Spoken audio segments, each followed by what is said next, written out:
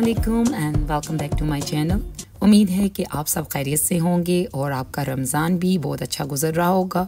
सबसे पहले मैं आपका शुक्रिया अदा करूँगी कि थैंक यू सो मच आपने मेरा लास्ट दराज शॉपिंग हॉल था, उसको बहुत पसंद किया। वो अगर आप में से जो न्यू हैं, जिन्होंने नहीं देखा, उसका लिंक मैं ना डिस्क्रिप्शन में ना दे दूँगी।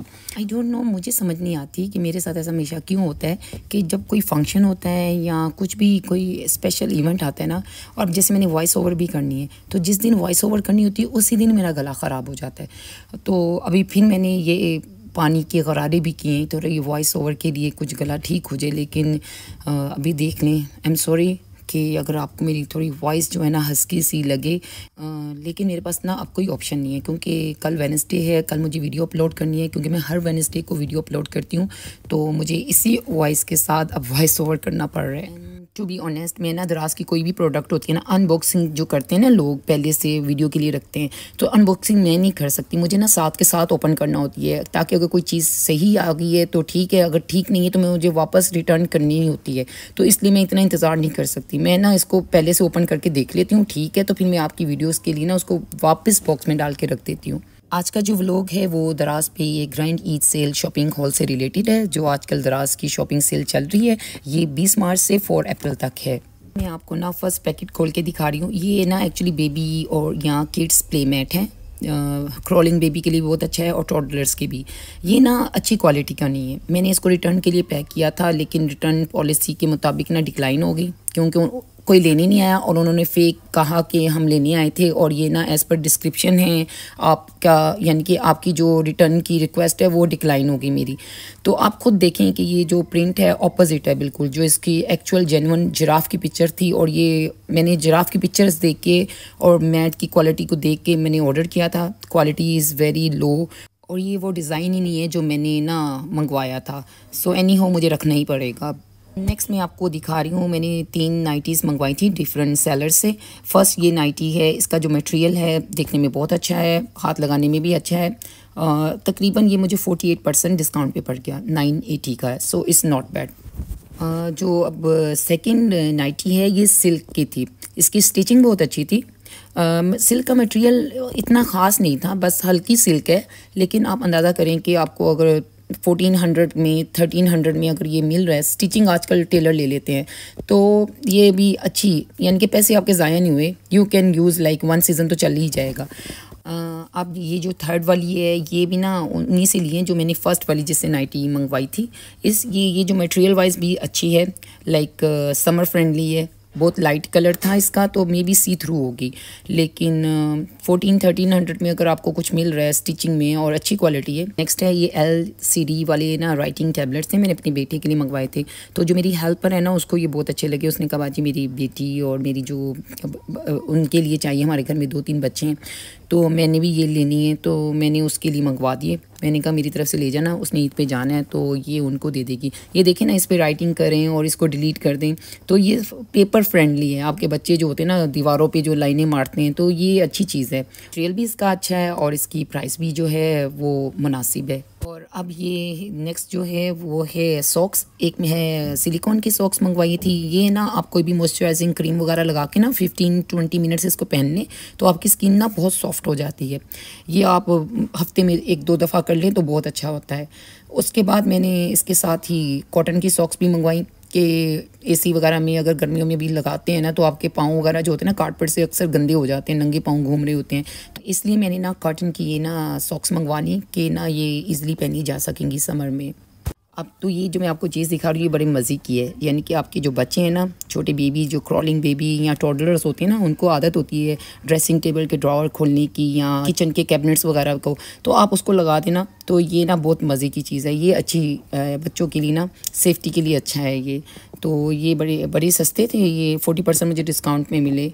और मुझे ना हार्ड बुक्स बहुत पसंद है। मैं डिजिटल मुझे बुक्स पढ़ने की आदत नहीं है। तो ये दराज में ना ओरिजिनल बुक्स की ना कॉपी बहुत अच्छी मिलती हैं। अदरवाइज़ ये ना बुक्स इंग्लिश जो बुक्स होती हैं, बाहर की वो बहुत महँगी होती हैं एट टू नाइन थाउज़ेंड में आती है। तो दराज में इसकी जो प्राइस थी वो सेवन हंड्रेड थी। ये ना माँ बाप से है कि माँ बाप को अपने बच्चों से कैसे बात करनी चाहिए कि वो उनकी बात सुने। तो ये बहुत अच्छी बुक है पेरेंट्स के लिए। और ये ना मैंने माहद के लिए मंगवाया था। इसमें ना डिफरेंट वॉइस हैं एनिमल्स की ना मिनी मोबाइल है।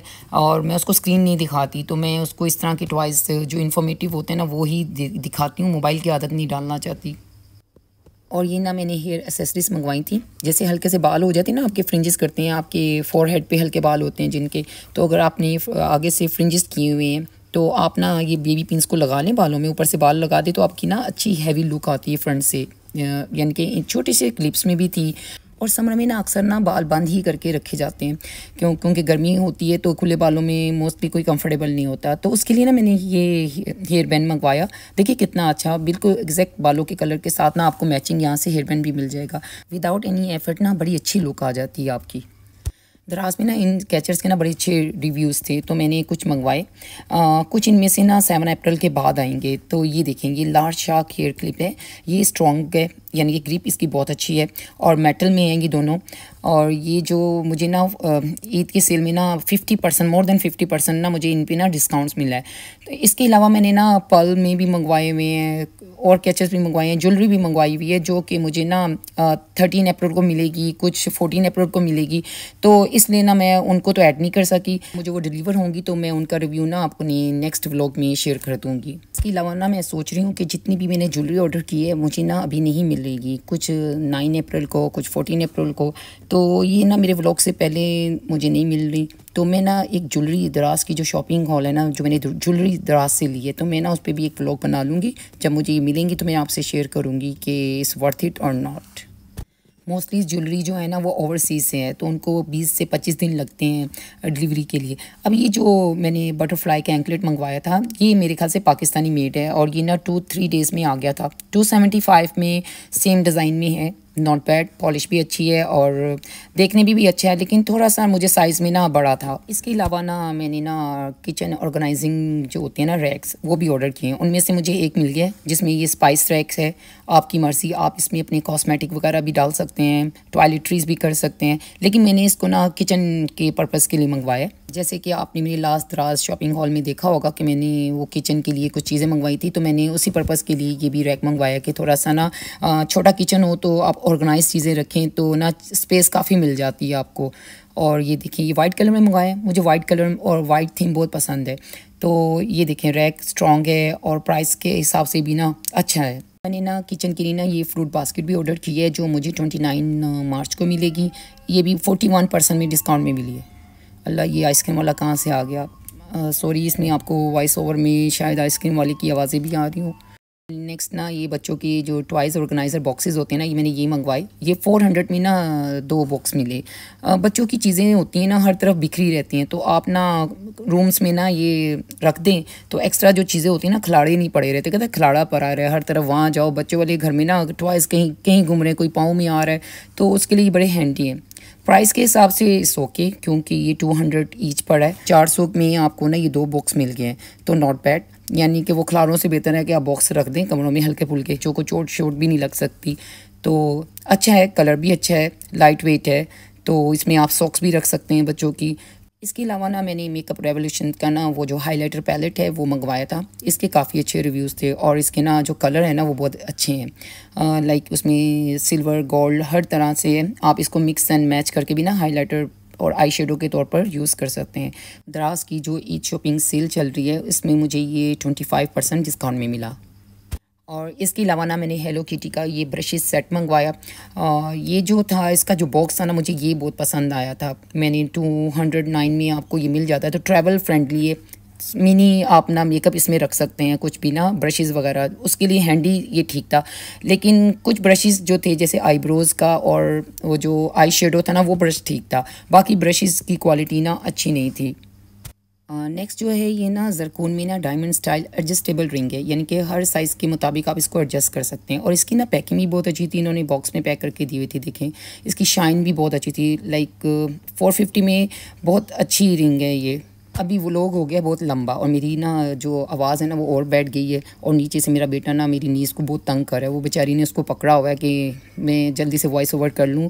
तो उसको हैंडल करना मुश्किल हो गया, आवाज़ें आ रही हैं मुझे नीचे से। तो मैं नीचे जाती हूँ। सो ये सुनीसा फाउंडेशन का और आईब्रो किट है ना, ये इसका ना मैं रिव्यू ना आपको और कैसे यूज़ करने और इस ये क्या इसका रिज़ल्ट है, ये मैं ना नेक्स्ट व्लॉग में शेयर कर लूँगी। आज का व्लॉग आपको कैसा लगा प्लीज़ इसको लाइक कर दिया करें। मेरी ना हौसला अफजाई हो जाती है, मुझे ना अच्छा लगता है। फिर मुझे ना मोटिवेशन मिलती है अपना नेक्स्ट व्लॉग बनाने में। इंशाल्लाह नेक्स्ट व्लॉग में फिर मुलाकात होगी। टिल देन अपना बहुत ख्याल रखें टेक केयर एंड अल्लाह हाफिज़